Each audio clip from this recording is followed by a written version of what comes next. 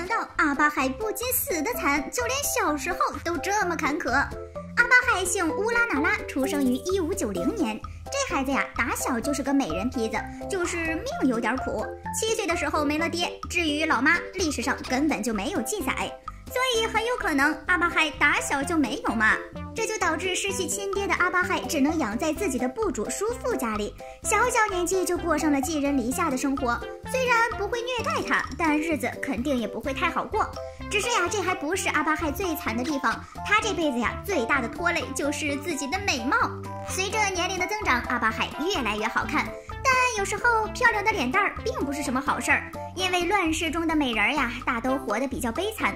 当时的努尔哈赤立志要统一各部，他又是一个十分强大的人，给各部落带来了巨大的危机，其中就包括阿巴亥所在的那拉部。他的叔叔为了保住部落，就把自己这个年轻漂亮的侄女嫁给了努尔哈赤。这个婚姻呀，别人挺满意的，但本人就不一定了。要知道，当时的阿巴亥只有十二岁，而哈赤都已经四十三岁了。对于阿巴亥来说，他这个年纪呀，当自己的爹都绰绰有余。而且当时的努尔哈赤已经有了七个女人，阿巴亥去了之后，那就是大型宫斗现场呀。不过十二岁的阿巴亥虽然年纪小，但心眼儿可一点儿都不少。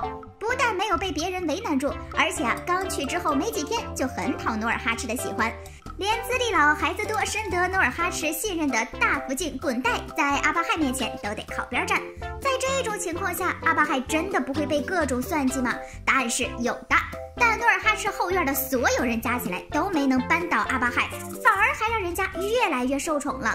这不，人家刚来这边一年，结果就直接成为了大福晋，统领努尔哈赤后院的所有女人。当时阿巴亥才十三岁，要资历没资历，要孩子没孩子，跟努尔哈赤的其他女人相比，他当大福晋实在是不够格。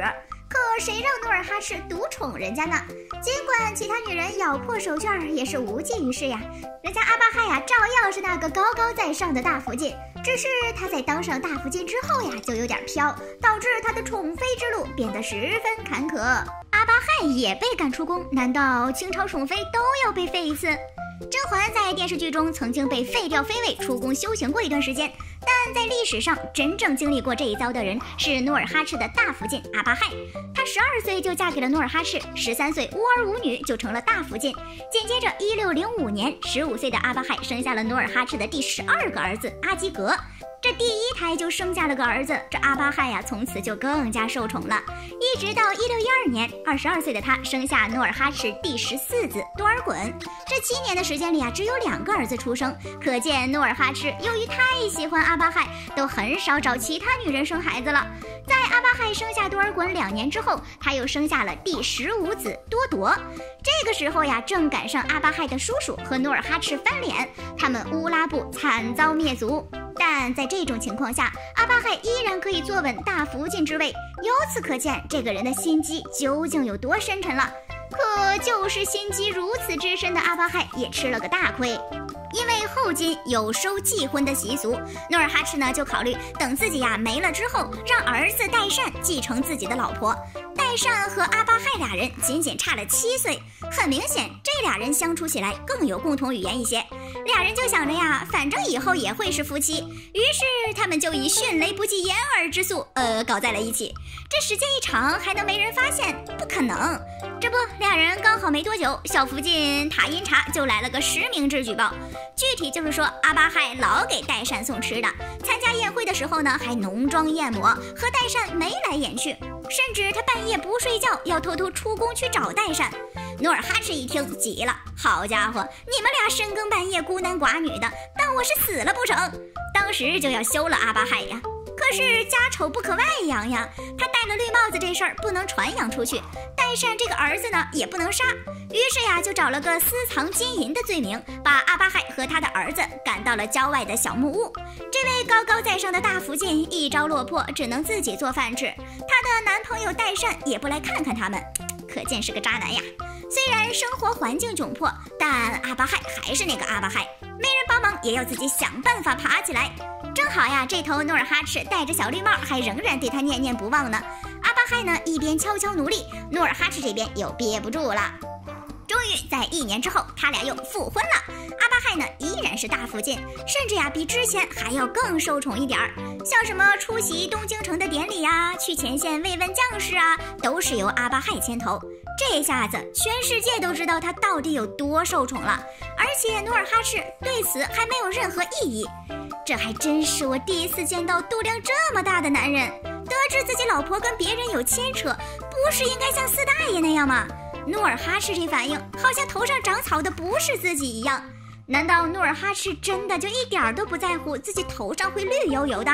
这就格局小了不是？统一各部的他，怎么可能这么卑微呢？人家呀，在他死后还有后招呢。